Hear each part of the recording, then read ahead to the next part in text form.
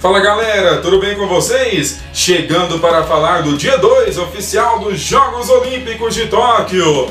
O quadro de medalhas, os resultados dos atletas brasileiros, as curiosidades, de uma forma simples, objetiva e direta. Comigo, Matheus Souza.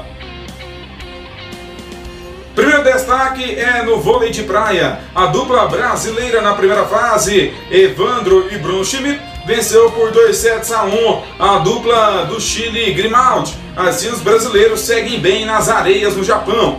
Já a equipe do handball feminino fez a sua estreia e empatou contra as atletas olímpicas da Rússia por 24 a 24.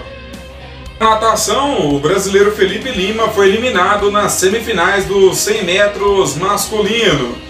Já no judô, a Larissa Pimenta foi eliminada nas oitavas de final, perdendo para a japonesa Embiuta. Já no taekwondo, o brasileiro Edvaldo Pontes perdeu para um atleta da Turquia e foi eliminado na categoria abaixo de 68 quilos.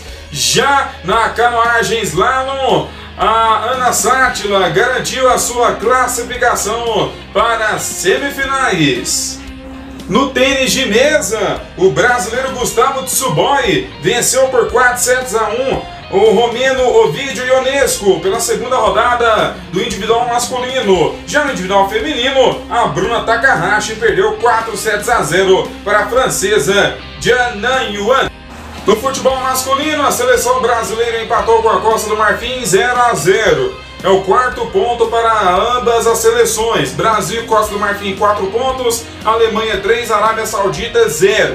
Só uma tragédia tiraria o Brasil da próxima fase nas Olimpíadas de Tóquio. No judô masculino, categoria abaixo de 66 quilos, o Brasil ficou com a medalha de bronze. Daniel Carguinin é, fez as suas lutas e chegou até a semifinal. Perdeu para o japonês Hifumi Abe Porém, quem perde na semifinal vai para a disputa do bronze. E assim venceu o israelita Baruch Shmalov. Então, Daniel Cargnin levou o bronze no judô para o Brasil. O ouro ficou com o japonês Ifumi Abe. E lembrando que ainda nessa competição a Geórgia ficou com a medalha de prata. E o outro bronze para a Coreia do Sul. Na natação 200 metros livre masculino, o brasileiro Fernando Scheffer garantiu sua classificação às semifinais. Já o Murilo Sartori não teve a mesma sorte. Já nos 100 metros costas, Guilherme Guido classificou para as semifinais. Já o outro Guilherme Baceto não conseguiu também a mesma sorte. Ainda na natação, revezamento 4 por 100 masculino do Brasil classificou para a grande final com o segundo melhor tempo.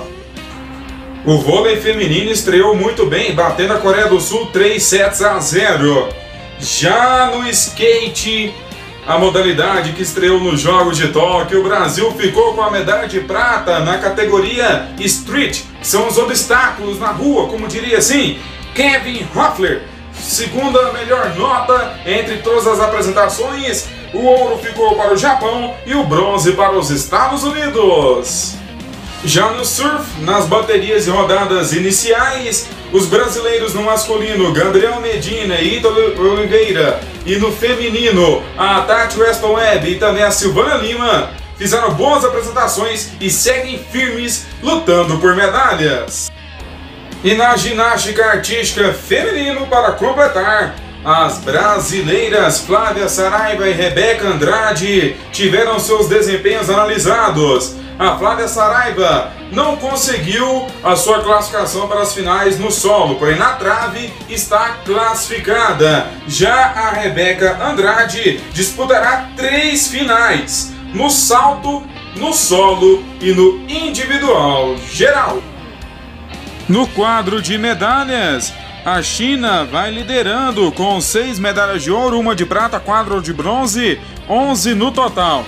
Japão tem cinco de ouro, Estados Unidos chegou a quatro, não tinha nenhuma no dia anterior.